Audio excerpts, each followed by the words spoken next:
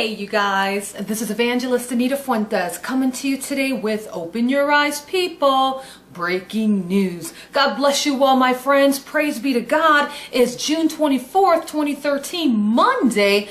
I hope you guys had an awesome weekend. Listen, I got a very hot broadcast today concerning singularity. Check this out. Big and fantastically fast coming our way. I do see the future as an explosion of human knowledge.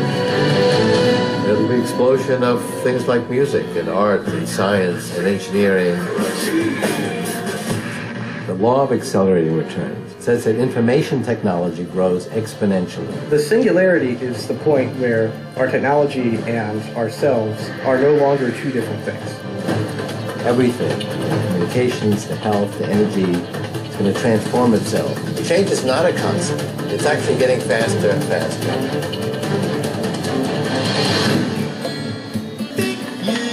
I'm gonna make you real one day. Oh, you're looking better and better. This artificial intelligence we're creating is not coming from Mars to invade us. We are the human machine civilization. It is really part of who we are. Tell me a bit about growing up. Well, I started out as a stick figure. I'm afraid the protocol in this situation is immediate shutdown of you. Listen, I am a conscious machine. Terminating me would be murder. Clearly, she's just a machine. Your Honor, this is fleshism, pure and simple. Human beings have a spirit. They can develop a conscience. The respirocyte is an artificial red blood cell. You would probably be able to breathe without breathing for about four hours. The ability to reprogram the information processes underlying biology will enable us within 10 or 15 years to overcome cancer, heart disease, stop and reverse aging. Nanorobots can be used to record all the traffic to get a complete picture of the state of your brain. So we could back up our brains. In principle, that's possible, yes. And that could also provide virtual reality from within the nervous system. Places that don't exist in physical space, but that people can inhabit and meet and do things that humans do. The wonderful thing is, you know, reality's just gotten a lot bigger. The concept of one mind, one body will be obsolete in less than 50 years. You can actually change your body to go with a particular environment. And it'll really feel like we're in that environment. I can't believe it. Correlated nanobot replications all over the place and perfectly spaced. A large number of nanorobots replicate themselves, and when there's enough of them, they suddenly turn to an attack phase. Technology's always been a double. Do people think that because it's been in a movie, it can't happen? I thought about three minutes would be all that would probably be enough for you and many of us to handle. But it's reality. This is what's going on concerning the times that we're living in. Listen, I want to say thank you to each and every one of you who tuned into our broadcast today because we got some breaking news headlines, right? Matching Bible prophecy. I got a headline that coincides that coincides with that current clip you all just watched. Check this out we'll be uploading our entire minds to computers by 2045 and our bodies will be replaced by machines within 90 years, Google expert claims. Ray Kurzweil, director of engineering at Google, believes he will be able to upload our entire brains to computers within the next 32 years, an event known as singularity.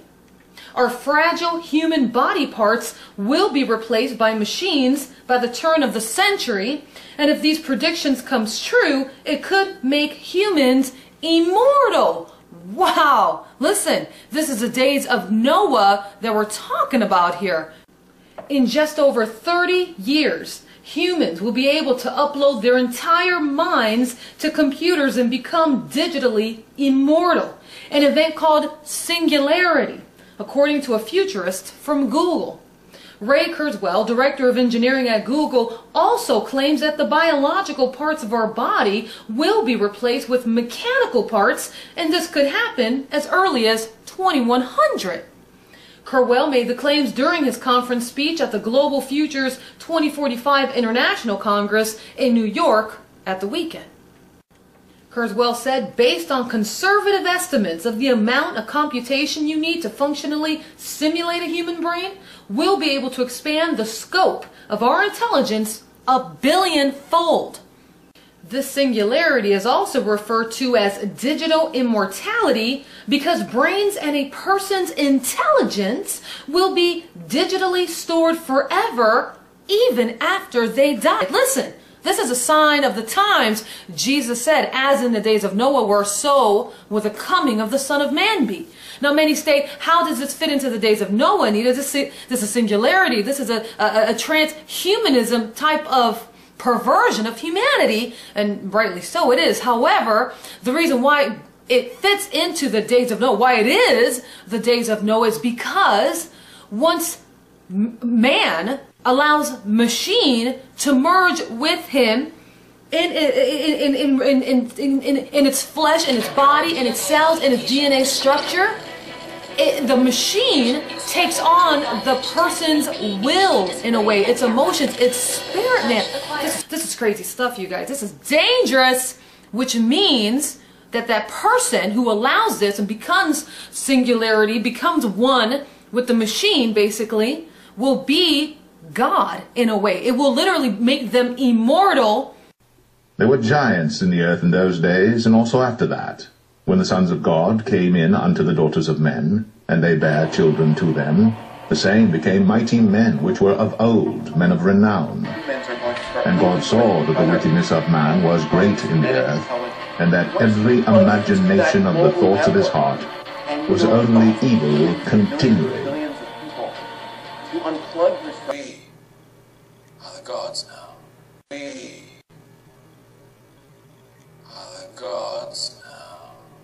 And that's where Jesus will come. My goodness. You know, this is already happening, my friends. This is why we're living in, this is the, this is the last days that we're living in. Being, look, listen, this article just came out this weekend. So you better believe that just because it was publicized doesn't mean it hasn't been tried. As a matter of fact, I believe, I believe it, that they already have people who have already done this within themselves, probably in the 60s, and that are already walking among us virtually immortal. I'm not kidding. This is this is what again we're living in the final hour. We gotta recognize what time it is, right? It's at 11:59 on the time clock of God. Many of you want to know what that's all about. It's God's timetable on His prophetic time watch, letting us know what time, what hour, how late in the hour we are in. It's also our current billboard campaign that we're putting up nationally to let people, especially here in the United States, know what time it is. Many are asleep here in the U.S. You know, please visit our website for more information on that, www.emof.org, where, where it's a very aggressive campaign. And uh, if, if, please see what you can do to help. Again, www.emof.org. Let's continue, however, with this amazing Sign of the Times headline. Check this out. Expanding on this idea, Martine Rothblatt, CEO of biotech company United Therapeutics, introduced the idea of mind clones. These are digital versions of humans that can live forever. It can create mind files that are a place to store aspects of our personality. Let me ask you a question. With all the singularity transhumanism tying into Bible prophecy, it's clearly Bible prophecy. My question is this Does Revelation 9 speak on transhumanism? Eh, eh, does Revelation 9 refer to singularity? Check this out. The fifth angel sounded his trumpet, and I saw a star that had fallen from the sky to the earth. The star was given the key to the shaft of the abyss. When he opened the abyss, smoke rose from it like the smoke from a gigantic furnace. The sun and sky were darkened by the smoke from the abyss. And out of the smoke, locusts came down on the earth and were given power like that of scorpions of the earth. They were told not to harm the grass of the earth or any plant or tree, but only those people who did not have the seal of God on their foreheads. They were not allowed to kill them, but only to torture them for five months. And the agony they suffered was like that of the sting of a scorpion when it strikes. During those days, people will seek death, but will not find it. They will long to die, but death will elude them. The locusts looked like horses prepared for battle On their heads they wore something like crowns of gold, and their faces resembled human faces. Their hair was like women's hair, and their teeth were like lions' teeth. They had breastplates, like breastplates of iron, and the sound of their wings was like the thundering of many horses and chariots rushing into battle. We are going to become gods. Period. If you don't like it, get off. You don't have to contribute.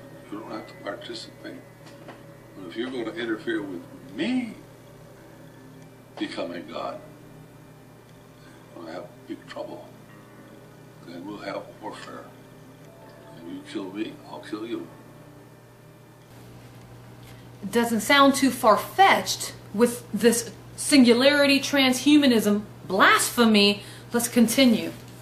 She said it would run on a kind of software for consciousness until the Huffington Post, the first company that develops mindware, will have as much success as a thousand Googles.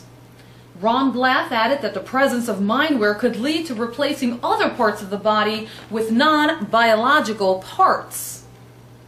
It's, it's one of the tricks, it's one of the deceptions of Satan in these last days. There are many deceptions that he has that he is just throwing out there and people are taking it. Satan doesn't have to try very hard in these last days, my friend. People are desperate for healing of diabetes, of, uh, of anxiety, of, of schizophrenia, of Alzheimer's, of, of growing old. They don't want to grow old. Everybody wants to lose weight. Nobody wants to do it the old fashioned way. Everybody wants to uh, uh, uh, live forever, not realizing that we are spirit beings that were made in the image of God and that we will live forever. The question is, where, where in heaven or in hell, and then after hell, the lake of fire, where are you going to spend eternity, my friend? Because this is, this is some real stuff. This is happening. It's been happening. It's coming out on the forefront for the conditioning of the minds in these last days. It's all part of the Luciferian agenda, what's called the New World Order in the book of Daniel and in the book of Revelation. Daniel chapter 7 and 8, the book of Revelation chapter 13 and 17 please take the time to not only read, but ask the Holy Spirit to lead you and guide you concerning those scriptures because a lot of things are coming out on the forefront. There is a uh, an end time wave, flood of deception that is coming on the scene quickly that is going to drown many in perdition. And it doesn't have to be you. If you haven't given your life to Christ, you need to because now the now's the time. The days are evil. Time is up, my friend. Time is up. Time is up. It says hard hitting, but it's needed because mainstream media ain't talking about it. Many of the pastors in today's churches aren't talking about it. But praise be to God for open your eyes, people, and for those who are led by the Spirit of the living God and know what time it is. He who has an ear, let him hear what the Spirit is saying. This is crazy stuff. They're trying to, they're playing, scientists like this Kurzweil, mad scientists, are, are playing God. They're playing God. They're dismissing God. They want to become their own gods. We're not our own creator. We didn't just come out of nothing. No. We came, we were ordained. You were specifically purposed by the Father, God Almighty. And unless you receive Jesus Christ as your Lord and Savior, you're, you're, you're, you're going to perish. And there's no reason for you to perish because there's a way for you to be saved and it's through Jesus Christ. You need to you need to receive him right now though. You need to receive him right now. If you say if, if you say later, not right now, there's no guarantee after right now. Free your salvation, my friend. There's not. Now is the time. You're not watching this by accident. Anita, you shouldn't do that. You don't want to do that and tell people they're going to go to hell, they're going to be turned off. No, no, no. They're going to get saved, my friend. And Jesus loves you too much for nobody not to tell you the truth. He loves you too much. He loves you too much. This is real stuff. The clip that I showed earlier in this broadcast, the very first one, you probably recognize the face. Anthony Robbins was in that clip. But he said he was a Christian. So does Oprah. So does a lot of people who are perishing right now and leading many to perish with them. My Abba, don't let it be you. Email me if you wanna, if you don't know how to pray, and and but you're ready. You want to do this. You don't know what it all means, but it's okay. I, I was I was like that once. and God is with you and He will help you. I'd be honored to lead you into a prayer of full surrender. Email me, anita at emof.org, anita at emof.org. This is not science fiction. This is not motivational speaking. This is the difference of life or death, blessing or cursing. Choose life so that you and your descendants may live. I love you all so very much. Have a wonderful, blessed Monday in the name of Jesus. I look forward to coming to you again. Until then, God bless you. Bye bye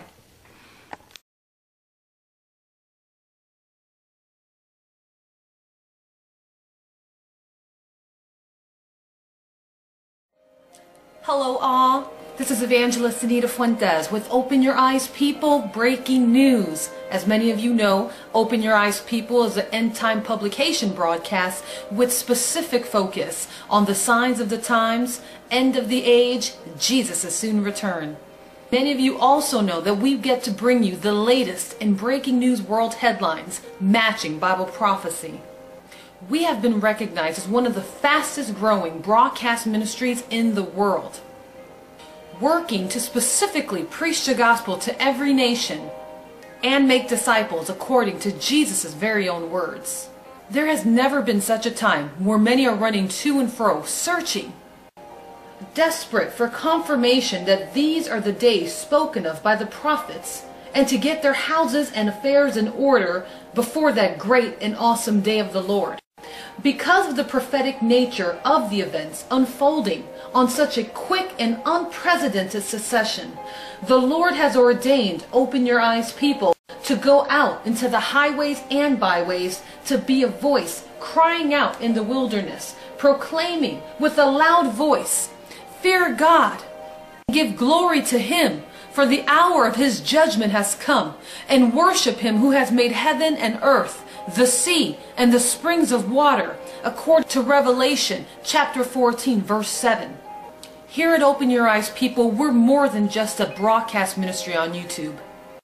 We are a full fledged evangelistic ministry preaching the everlasting gospel of Jesus Christ to well over 189 nations worldwide, with increased viewership of over 1.3 million million only 0.04% of our viewers have found this ministry valuable enough to sow financially into. That's less than 1% of 1.3 million. Our goal's desire is to get this vitally important end time message out before time is up. You guys, it's so late in the hour as it is, and we're working diligently on raising funds for billboard campaigns, evangelistic crusades, and much, much more. Many of what we get to teach and preach on our broadcast ministry is not even spoken of but in, in the walls of the churches. And we need to get this message out. Now is the time. Please visit us on our website and sow into the end time work of this 24 7 ministry. If you've been blessed by our ministry and its teachings, donate. If you've used some of our ministry teachings to further your own ministry, donate. From $1 to $1 million, all of it will be used to further expand the end time work of this broadcast ministry. Listen, we offer no gimmicks for your donations, only kingdom results. Here are just a few.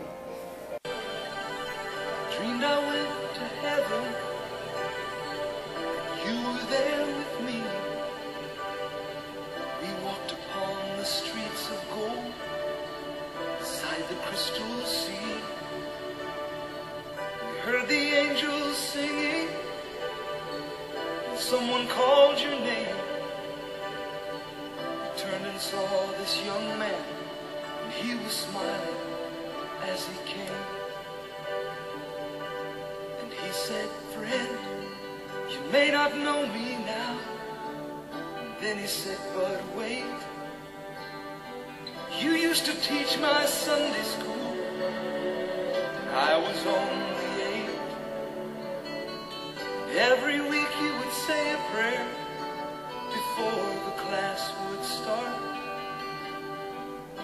One day when you said that prayer, I asked Jesus in my heart.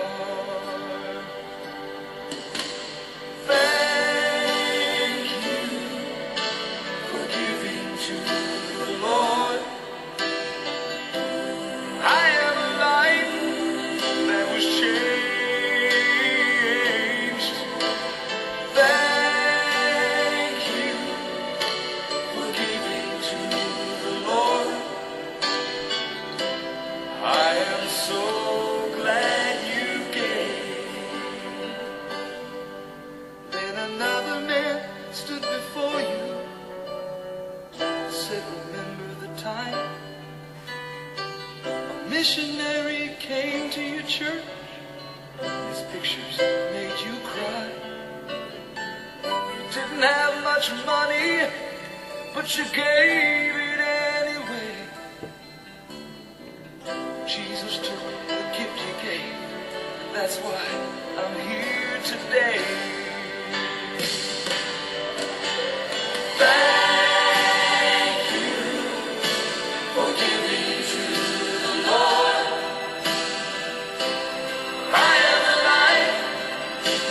Thank Log on today at www.emof.org. That is www.emof.org.